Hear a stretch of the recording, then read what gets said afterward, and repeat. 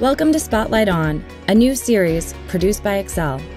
Join us as we examine the technology shaping our world through conversations with the people building it. AI is probably the most important technological advancement of our time. Highlighting a new topic each season, leaders in the space will share their learnings, challenges, and breakthroughs. I view what's going on with generative AI not in any way a replacement for creative spark. Over the past 40 years, Accel has seen many periods of transformation and groundbreaking technologies. We believe artificial intelligence is one of them. AI is not a single player game. Whenever a new great idea emerges, there's going to be 10 different competitors. Focus on the customer problem and then just like take a massive swing for the fences. Who of these people are doing this because it actually solves a problem for them and who's doing this because it's super cool? Businesses need to learn what it means to run a, uh, their, their company when AI models are at their core, not human beings.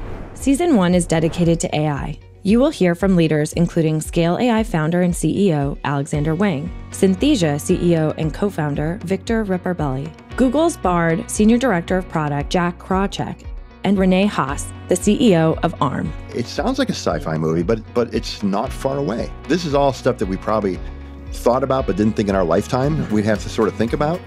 And more.